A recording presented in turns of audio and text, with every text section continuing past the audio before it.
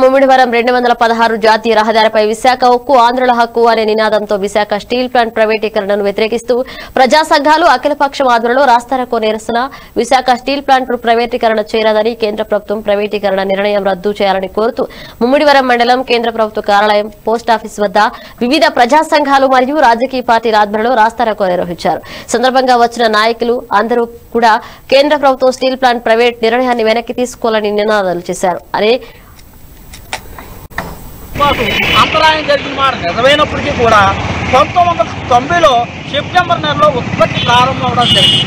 పంతొమ్మిది వందల తొంభై నాలుగులో యాభై కోట్ల నికర ఆదాయం కూడా రావడం జరిగింది.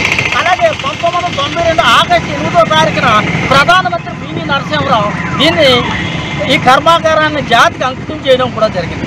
అయితే పంతొమ్మిది వందల తొంభై ఎనిమిది రెండు వేల సంవత్సరంలో నిధుల కొరత కారణంగా ఈ పరిశ్రమ కాయిలా పడడం జరిగింది. అయితే వివిధ కార్మిక సంఘాలు ఉద్యోగ సంఘాలు పోరాట ఫలితంగా మేమందరం కూడా ఈ ఉద్యమం ఈ ఉద్యమం ఈ ఉత్పత్తిని పెంచి ఈ ఉక్కు పరిశ్రమని ప్రపంచ స్థాయికి తీసుకొస్తామని ఈ ఉద్యోగస్తులు అందరూ కూడా ఉక్కు ఒక చే- ఉద్యమం చేయడం వల్ల వడ్డీ రేటుని మాఫీ చేసి చేయడం వల్ల ఈ ఉక్కు పరిశ్రమ ప్రపంచ శ్రేణి ఉక్కు పరిశ్రమగా మారడం జరిగింది.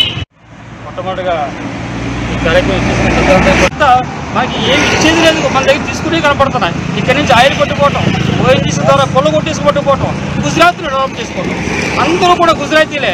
ఎవరైతే ఉన్నారో కార్పొరేట్స్ అందరూ గుజరాత్ వాళ్ళు బాగుపడాలి ఎవరు కూడా సామాన్యులు అందరూ కూడా నాశనం అయిపోవాలి. అది ఒక కాన్సెప్ట్తో ఉన్నారు సోదరులారా సోదరి ముల్లారా అయితే ఈ ఉక్కు ఫ్యాక్టరీ ఆంధ్రలో యొక్క హక్కు ఇది. ఆంధ్ర యొక్క బ్యాంక్ని నాశనం చేశారు చేసేసి ఆ ఆ బ్యాంక్ తీసి యూనియన్ బ్యాంక్ కల్పేశారు. ఆంధ్ర అంట పేరంటేనే నచ్చట్లేదు. ఆంధ్రకి వస్తే స్పెషల్ స్టేటస్ లేదు. పోలవరం ప్రాజెక్టు లేదు ఏదైతే అమరావతి మన రాజధాని కూడా లేని ఆంధ్రంలో అయిపోయి అటువంటి దుర్మ అటువంటి అటువంటి పరిస్థితులు మనం ఉన్నాం సోదరులారా ఓ మోడీ సాబ్ जरा सोच लीजिए आपका पीछे फैमिली नहीं है हमारे पीछे फैमिली है पेट्रोल एक सौ रुपये हो गया और आयल तेल का डब्बा एक एक लीटर एक सौ तीस रुपये हो गया एक सौ पचास रुपये हो गया। हम पीछे हमारे पीछे चार चार आदमी पाँच पाँच आदमी हमारा फैमिली चलाना पड़ता है। हमारा फैमिली चलाना पड़ता है। आपका पीछे फैमिली नहीं है आपका पास बीवी नहीं है आपका पास परिवार नहीं है। हमारा पीछे परिवार है। एक बार सोच लीजिए हमारे जीने के लिए थोड़ा आमदनी दीजिए।